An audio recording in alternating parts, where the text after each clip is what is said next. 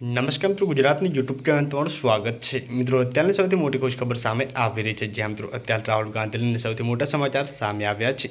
રાહુલ ગાંધીની આ અરજી મિત્રો સુપ્રીમ કોર્ટે સ્વીકારી લીધી. જ્યાં મિત્રો અહીંયા વાત કરીએ, તો મિત્રો કોંગ્રેસ નેતા રાહુલ ગાંધીએ મોદી સરને માનહાની કેસમાં ગુજરાત હાઈકોર્ટના નિર્ણયને સુપ્રીમ કોર્ટમાં પડકાર્યો છે. જ્યાં મિત્રો કોંગ્રેસ વતી સુપ્રીમ કોર્ટે અરજીમાં દાખલ કરીને મિત્રો આ મામલે તાત્કાલિક સુનાવણીની માંગ કરવામાં આવી હતી. ત્યારે મિત્રો સુપ્રીમ કોર્ટે આ મામલે તાત્કાલિક સુનાવણી કરવા મિત્રો સંમતિ આપી છે. ત્યારે મિત્રો આ મામલે એકવીસ જુલાઈએ સુનાવણી થશે. ગુજરાત હાઈકોર્ટે સાત જુલાઈના રોજ મિત્રો આ કેસમાં રાહુલ ગાંધીને દોષી ઠેરાવ્યો હતો. ત્યારે મિત્રો રાહુલ ગાંધી હજુ પણ બીજો જે છે પાછી પટ કરી નથી. તેઓ હજુ પણ આ સામે લડી રહ્યા છે. ત્યારે મિત્રો તેમની અરજી મિત્રો હાઈકોર્ટમાં સ્વીકારવામાં આવી છે અને મિત્રો તેમને સુનાવણીનો આદેશ પણ આપી દીધા છે. ત્યારે મિત્રો અહીંયા વાત કરીએ તો મિત્રો આ મામલે એકવીસ જુલાઈ મિત્રો સુનાવણી થશે તેવું કહેવામાં આવી રહ્યું છે.